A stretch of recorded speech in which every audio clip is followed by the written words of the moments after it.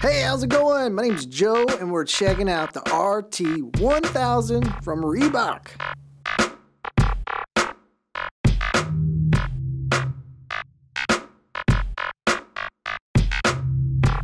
Now this shoe's going to provide that classic Reebok look. It is made out of smooth leather. You got some suede accents in there.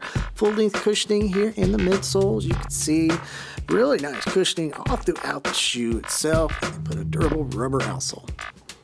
It's a blast from the past and it's never been better. RT1000. It's from Reebok.